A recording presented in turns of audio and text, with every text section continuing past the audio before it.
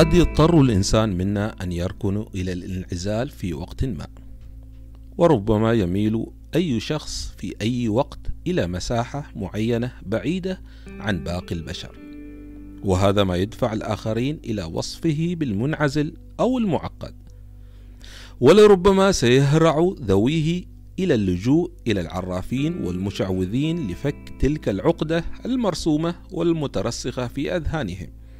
وهذا ما يدفعني للتساؤل. لماذا يلجأ البشر للشعوذة؟ جهز فنجان قهوة أو شاي حسب الرغبة وخلينا نتكلم عن الشعوذة. وقبلها اشترك في القناة وقم بتفعيل جرس التنبيهات إذا كانت تجربتك الأولى معي أنا فهد التميمي. وأما أصدقائي المتابعين الدائمين فما عليكم سوى مشاركة المحتوى مع من تحبون إذا عجبتكم الحلقة. مرحبا بكم.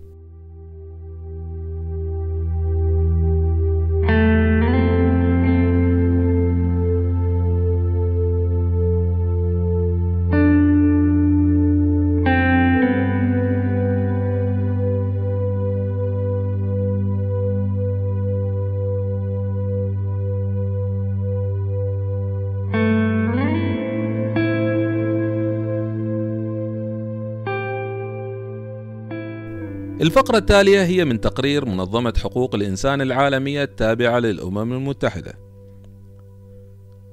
في العديد من البلدان حول العالم أدت المعتقدات والممارسات المتعلقة بالسحر والشعوذة إلى انتهاكات جسيمة لحقوق الإنسان، بما في ذلك الضرب والإقصاء وقطع أعضاء الجسم وبتر الأطراف والتعذيب والقتل. والنساء والأطفال وكبار السن والأشخاص ذوي الإعاقة ولا سيما الأشخاص ذوو المهق هم الأكثر عرضة لهذه المخاطر. وعلى الرغم من خطورة انتهاكات حقوق الإنسان هذه، ما من رد صارم من الدولة عليها في الكثير من الأحيان. وغالبا ما لا تعمل الأنظمة القضائية على منع انتهاكات حقوق الإنسان المرتبطة بالسحر والشعوذة والمعتقدات ذات الصلة أو التحقيق فيها أو مقاضاتها. وبالتالي يكرس هذا الفشل المؤسسي الإفلات من العقاب. تختلف المعتقدات والممارسات المتعلقة بالسحر والشعوذة اختلافا كبيرا بين الدول وحتى بين الأعراق المختلفة في البلد الواحد. ولا يزال فهم الاعتقاد بالسحر والشعوذة محدودا تماما كما هي الحال بالنسبة إلى أسباب ممارسته في بعض الثقافات ويشير المقرر الخاص المعني بحالات الإعدام خارج نطاق القضاء أو بإجراءات موجزة أو تعسفا في تقرير في عام 2009 إلى أن الانتهاكات حقوق الإنسان المرتبطة بسبب المعتقدات بالسحر لم تبرز على شاشات رصد حقوق الإنسان. وأن هذا الأمر قد يرجع في جانب منه إلى صعوبة تعريف مصطلحي الساحرات والسحر في جميع الثقافات.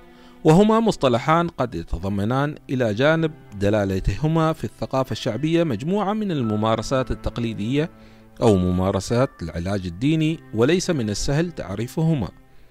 ويظل الواقع قائما وراء كلمة سحر.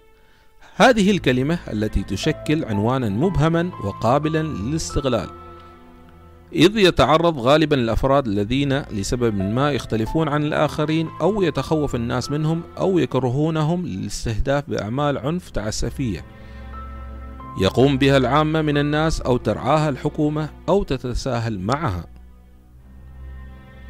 هذا هو الكلام الرسمي، فماذا عن الجانب التقليدي أو الشعبي؟ الشعوذة ممارسة محرمة بشكل رسمي في العديد من المجتمعات حول العالم. ولكنها مباحة في الواقع حسب الفهم الأيديولوجي لمجتمع ما. أنا هنا لا أبرر الفعل بقدر محاولة مني لتقريب الصورة للجميع. لكن لماذا نلجأ للسحر والشعوذة؟ يتوجه بعض الناس إلى السحر والمشعوذين لعدة أسباب. أبرزها أن الإنسان يريد الهروب من البحث عن السبب العلمي المنطقي لما يعاني منه ويلجأ للظواهر الغيبية. كما أن وسائل التواصل الاجتماعي أصبحت ملاذا للترويج للمشعوذين. بادعاء أنهم يملكون حلولا سحرية لما يعاني منه المضطرب نفسيا وهذا يصل بنا إلى قلة الوعي عند البعض.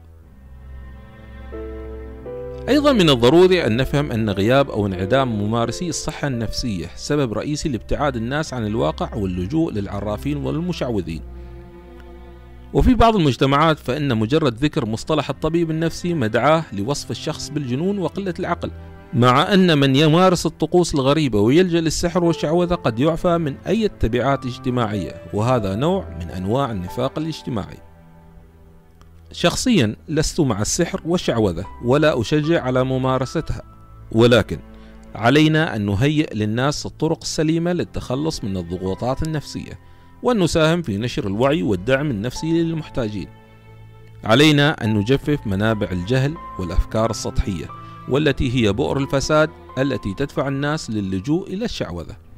علينا أن لا نبتعد عن الدين ولا نترك الآخرين فريسة للأوهام. علينا أن نتوقف عن دعم ونشر محتويات التنجيم والدجل والشعوذة ولو من باب التسلية وقتل الفراغ.